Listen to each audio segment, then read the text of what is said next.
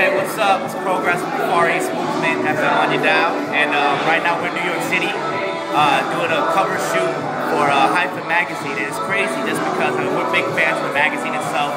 Been reading it for years, and for us to actually you know, get a cover, we're just really thankful. Thank you, Hyphen. We got this great photographer, Colin, over here. So that's Kev Nish in the background. He's uh, doing a couple solo shots right now. We're getting our free wired on. So um, y'all have fun over here. Thank you guys again for being a part of this. We really appreciate it, Hyphen Magazine. Can't wait, can't wait to have it. I'm it up on my wall in downtown LA. That's what we're gonna do. Three fingers up at all times.